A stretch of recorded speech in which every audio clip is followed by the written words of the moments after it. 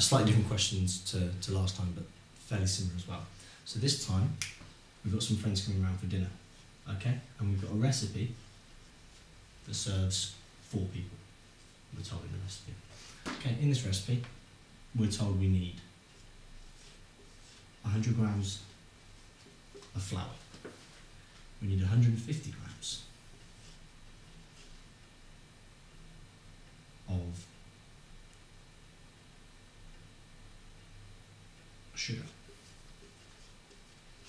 And we're told we need 200 ml of milk. And we're told we need two eggs.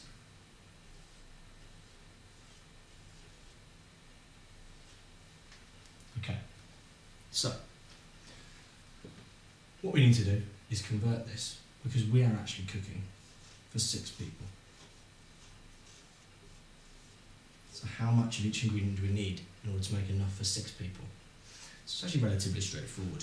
We need to get from four to six. So what we need to do is work out how much we need to serve one person. So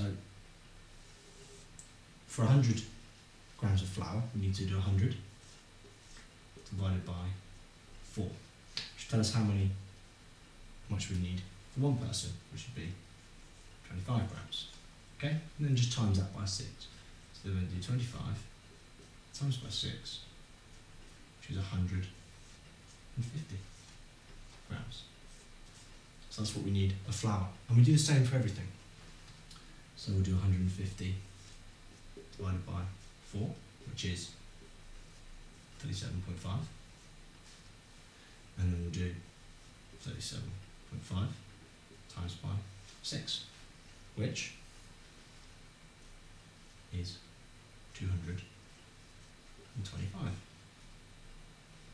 grams of sugar. We'll do the same for the milk. So divided by 4, or 2, divided by 4, it's 50 grams. Okay, and then we'll do the 50 times by 6, which will give us 300 grams. And finally for the eggs, we've got 2 divided by 4, which equals a half.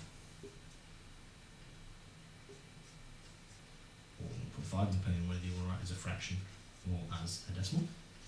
And then we'll do 1.5 times 6. And we find out that we actually need 3 eggs. So we need 3 eggs, 300 grams, 300 mil of milk, not grams. Easy mistake to make. 300 millilitres of milk, 225 grams of sugar, and 150 grams of flour. And it's that easy. That's ratios. Uh, have a go through these questions, and then we'll move on to the next section.